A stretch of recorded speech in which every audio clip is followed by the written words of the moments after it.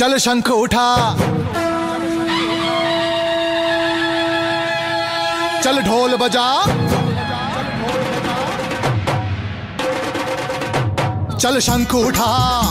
चल ढोल बजा। चल शंख उठा, चल ढोल बजा। चल गला खोल, ये गाना गा। सब खुशियाँ मनाने वाले हैं, अच्छे दिन आने वाले हैं। सब खुशियाँ मनाने वाले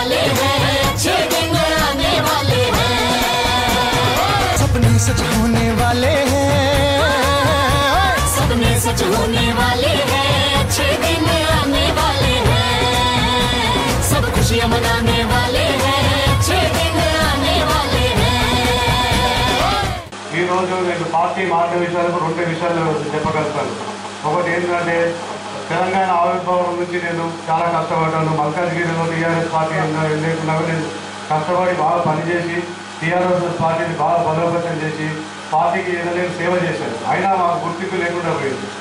ఎంత సేవ చేసినా అది వేస్ట్ అయిపోయింది.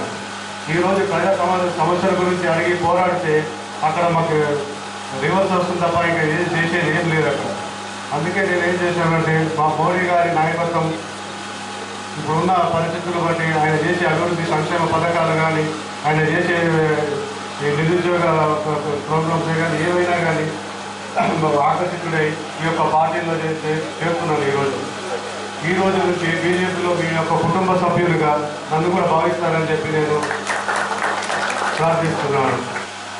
రాష్ట్రంలో జరుగుతున్నటువంటి యొక్క రాజకీయ వ్యవహారం కానివ్వండి లేకపోతే మనకు ఈ యొక్క నగరంలో గతంలో జరిగినటువంటి జిహెచ్ఎంసీ ఎలక్షన్ తర్వాత టీఆర్ఎస్ ప్రభుత్వము అందరి ఓట్లు తీసుకొని ప్రజల్ని మోసం చేసి ఈరోజు సిటీలో ఉన్నటువంటి ఒక ఏదైతే పరిస్థితి మనం చూస్తే నిజంగా దాని మీద మనం ఆలోచించాల్సిన అవసరం లేదు.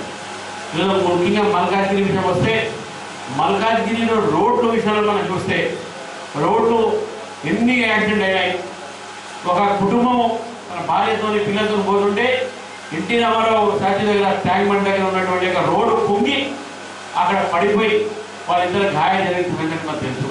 దాని తర్వాత దానికి స్పందించి నేను హైకోర్టులో పబ్లిక్ ఇంట్రెస్ట్ లిటిగేషన్ చేసిన తర్వాత మల్కాజ్గిరిలో రోడ్లు ఇప్పుడు ఇప్పుడు బాగు చేసిన సంగతి కూడా మనం తెలియజేసుకోవాల్సిన అవసరం లేదు ఈరోజు టీఆర్ఎస్ సీనియర్ నాయకులు రవి యాదవ్ నేతృత్వంలో అనేక మంది యువకులు మాజీ కౌన్సిలర్స్ ప్రజాప్రతినిధులు పెద్ద సంఖ్యలో ఇవాళ పార్టీలో చేరడం జరుగుతుంది. ఇవాళ రవి యాదవ్ మాత్రమే కాదు రోజువారీగా అన్ని జిల్లాల్లో ఇతర పార్టీకి సభ్యులు చేరుతూ మోదీ నాయకత్వాన్ని బలోపేతం చేయాలి. తెలంగాణలో కూడా బీజేపీ బలపడాలనే ఆకాంక్షతో ముందుకు వస్తూ ఉన్నారు.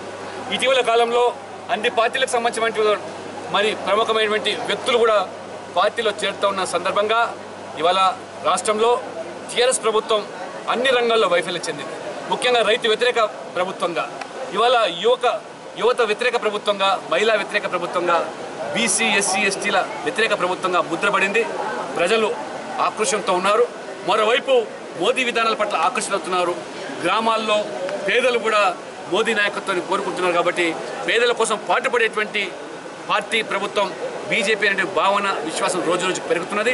ప్రజల యొక్క ఆకాంక్షలకు విశ్వాసాలకు అనుగుణంగా తెలంగాణ రాష్ట్రంలో ఖచ్చితంగా పోలింగ్ బూత్ నుంచి పార్టీని బలోపేతం చేయడానికి జాతీయ అధ్యక్షులు అమిత్ షా గారు ఈ నెల ఇరవై రెండు ఇరవై మూడు ఇరవై నాలుగు తేదీల్లో మరి గ్రామాల వైపు నుంచి మరి ప్రత్యేకంగా మోదీ విధానాలు మోదీ కార్యక్రమాలు ఏ మేరకు చేరుతున్నాయి?